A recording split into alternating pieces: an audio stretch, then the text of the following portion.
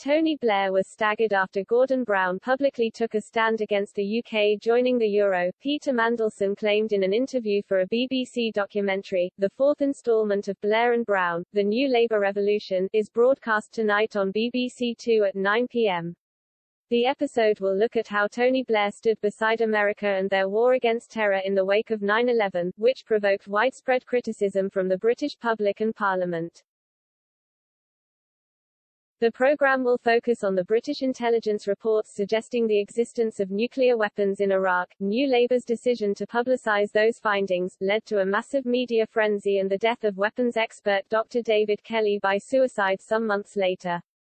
Previous episodes of the show chart the meteoric rise of New Labour under the stewardship of Mr. Blair, and the political rivalry that began to form between the Prime Minister and his close friend and Chancellor of the Exchequer Mr. Brown.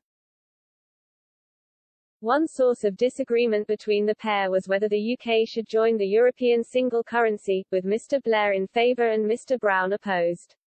Mr. Mandelson revealed that Mr. Blair was staggered after Charlie Whelan, Mr. Brown's spokesman, told journalists at the Red Lion pub in Whitehall that Britain would not join the euro. Mr. Mandelson, who was Labour's director of communications during the party's rise, said, when he learned of this Tony was absolutely staggered. He and I spoke and he said, I've got to speak to Gordon about this and he got switched to find him the Chancellor to talk about this. And in the Treasury he was put through not to the Chancellor but to Charlie Whelan. And he said to Charlie, What on earth is going on in this? Mr. Whelan also explained, Unfortunately Tony Blair wasn't quite prepared for this, he was ringing me up, and I was in the pub, the Red Lion.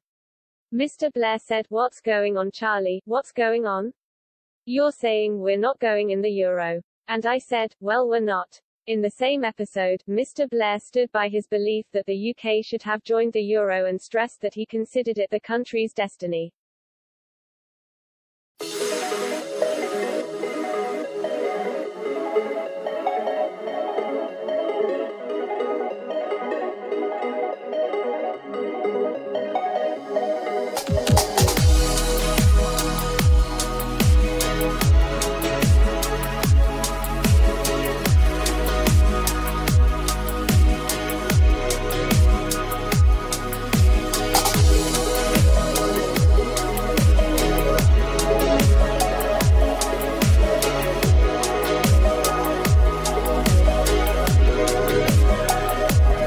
Queen Margrethe II to bring Karen Blixen's image creating worlds to life in Netflix film.